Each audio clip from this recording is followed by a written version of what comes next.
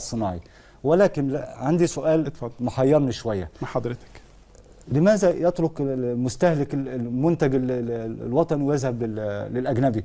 لازم يكون هناك بعض النقاط يجب الحديث فيها ووضع الحلول أمام الدولة أمام المواطن. صحيح. طيب. وكل واحد ليه دور. متفق إزاي مع- أد- ادعم ادعم منتج بلدي.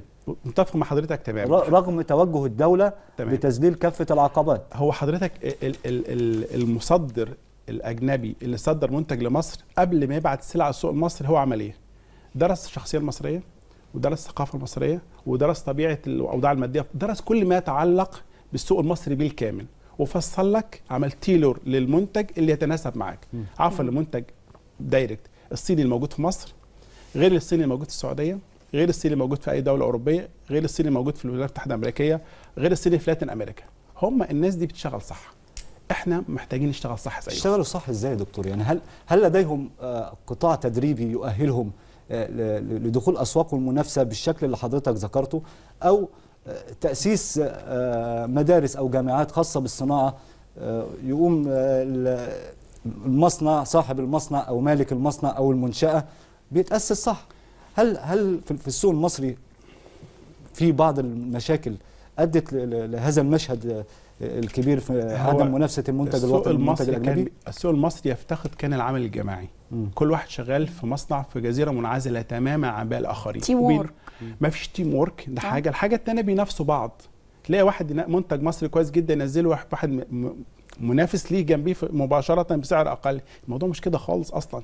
هناك في teamwork في منظمات المجتمع المدني اللي زي معاد اتحادات صناعات واتحاد غرف تجارية والمسميات ال- الم- المماثلة اللي موجودة عندنا شغالة بطريقة أنشط من عندنا بكتير وشغالة بطريقة عملية جدا جدا.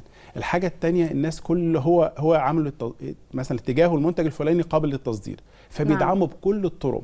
بيدعمه اداريا بيدعمه ماديا بيدعمه في النقل logistics وكل حاجة. هو هو بالنسبة له المنتج اللي هتصدر ده كنز في العملة الصعبة كنز في فرص العمل. كنز في في توفير حياة أفضل للناس الموجودين وبالتالي هو بيحافظ عليه.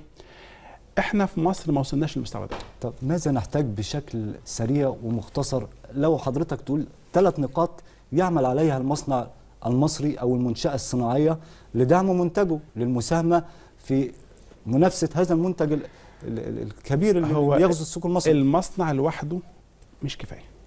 محتاج المصنع يشتغل بالتنسيق مع الدولة بالتنسيق مع منظمات الأعمال اللي بترعى المجتمع. هي ثلاث ثلاث محاور اشتغل مع بعض والثلاثه بالتنسيق مع بعض. لو المصنع بتاعه عمل أحلى أحسن product في مصر كلها وأفضل نعم. سعر بدون دعم من منظمات الأعمال اللي هي بترعاه وبدون دعم من الدولة ولا هيحصل أي حاجة. هيفضل زي ما هو. بدليل في منتجات ممتازة جدا ما بتبيعش حاجة في مصر. وهو quality عالية وكل حاجة. سعر كويس و quality كويسة ما بيبيعش. المنتج المستورد هو اللي بيغطي عليه. الدولة بتعمل مبادرة. ضربت لك مثال. لما والرئيس بيقول للناس خدوا قرض ب 5% متناقصة. ما كانش حد يحلم بيه المصانع ما قدرتش تاخده نتيجة إيه؟ نتيجة كان في مشكلة في, في, في تراخيص الصناعية في وزارة الصناعة من الناس ما كانتش بتستفاد من المبادرة. اتحلت بعد بعد ما ضيعوا سنة كاملة. آه، نعم. منظمات مجتمع الأعمال ما, ما اتكلمتش عن المشكلة دي ما حدش اتكلم عنها. ما حدش قال يا جماعة في مشكلة في المكان الفلاني. فهم ثلاث أطراف لازم يشتغلوا مع بعض. ما فيش طرف لوحده هيقدر يحل مشكلة المنتج المصري. ما فيش طرف لوحده هيقدر يواجه الإغراق لأن برضه الطرف الثاني قوي. قوي ليه؟ المصنع. شغال مع منظمات المجتمع المدني منظمات الأعمال الخاصة بيهم شغال مع الدولة. فهم هم انت عندك طرف قوي في تماسكه في ال teamwork وطرف تاني شغال بصوره فرديه وبالتالي لازم الطرفين يعني التكافؤ اعمل ثلاث ثلاث بيكملوا اطراف بعض ثلاث أطراف بره قصاد ثلاث أطراف في الداخل. لكن أشتغل كطرف واحد فقط ما ينفعش. مش هينفع. ده بيكمل ده. بالظبط. بس عفوا قبل سؤال آه، زميلتي أنجل. أين دور الاتحاد الصناعات؟ أين دور الجهات المعنية من هذا الأمر يا دكتور؟ لازم يكون قائد يقود هذه المنظومة ويوجه. هل هل في قائد في في القطاع الصناعي؟ آم، اتحاد العام للغرف. التجارية واتحاد الصناعات المصرية محتاجين تفعيل بصورة أكبر بكتير جدا جدا من الوقت الحالي. اد- أنا آه، آه، قعدت فترة كبيرة جدا عضو غرفه صناعة الغذاء عضو غرفة صناعه الغذائيه في اتحاد الصناعات المصرية.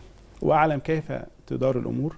الناس كويسين جدا محترمين الشغل كويس لكن الاحت- محتيا- الاتحاد الغرف التجارية واتحاد الصناعات المصريه الاثنين مع بعض محتاجين يشتغلوا بفعاليه أكثر في الوقت الحالي.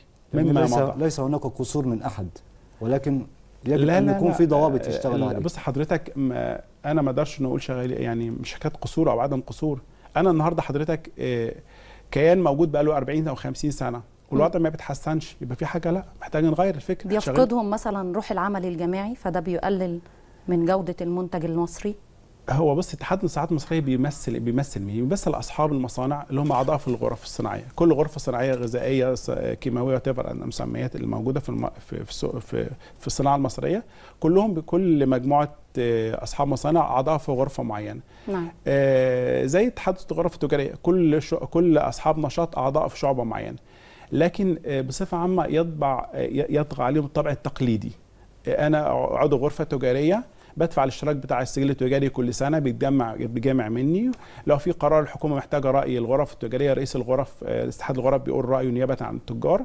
نعم. لو في قرار الحكومة محتاجة رأي في اتحاد آه، رجال الصناعة فرئيس اتحاد بيقول رأيه نيابة عن الصناع لكن مش هو ده الدور بصراحة فقط لا غير. محتاج تفعيل أكتر آه. من كده بكتير جدا. اذا نأمل منهم الكثير بإذن الله في خلال المرحلة المقبلة. وبالذات. إن كمان عندك رئيس اتحاد صناعات آه، هو راجل صناعة أصلا.